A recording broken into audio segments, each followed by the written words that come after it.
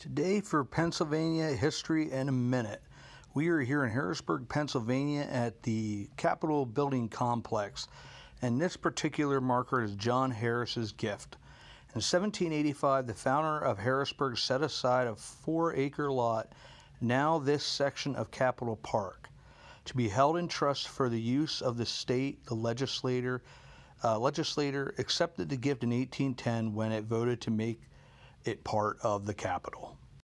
So John Harris Jr. had actually inherited his father, John Harris Sr.'s trading business, and it was called Harris Ferry, originally called Pexton in, I believe, Lenape, uh, and then eventually became Harrisburg, named in honor of this man and his father.